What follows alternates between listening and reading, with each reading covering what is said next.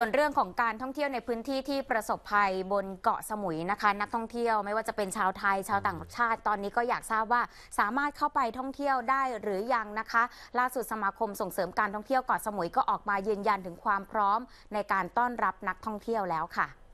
ว่าที่ร้อยตรีกิติภพรอดดอนนายอำเภอเกาะสมุยจังหวัดสุราษฎร์ธานี พร้อมด้วยหน่วยงานที่เกี่ยวข้องกับการท่องเที่ยวนะคะ ร่วมแถลงข่าวภาพรวมการแก้ไขปัญหาพายุปลาบึก และแผนฟื้นฟูการท่องเที่ยวเกาะสมุย เพื่อสร้างความเชื่อมั่น และสร้างความมั่นใจ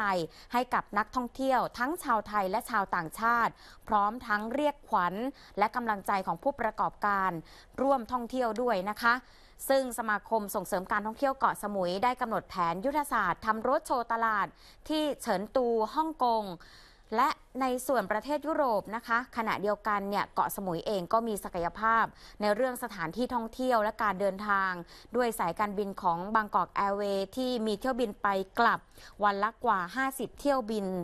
แล้วก็มีเรือเฟอร์รี่ที่ให้บริการทุกๆ ชั่วโมง ดังนั้นเนี่ยขอให้ผู้ประกอบการเป็นเจ้าบ้านที่ดี ในการต้อนรับนักท่องเที่ยวด้วยค่ะอะก็พร้อมแล้วนะคะสำหรับเกาะสมุยที่จะต้อนรับนักท่องเที่ยวหลังจากที่พายุพาดผ่านไปแล้ว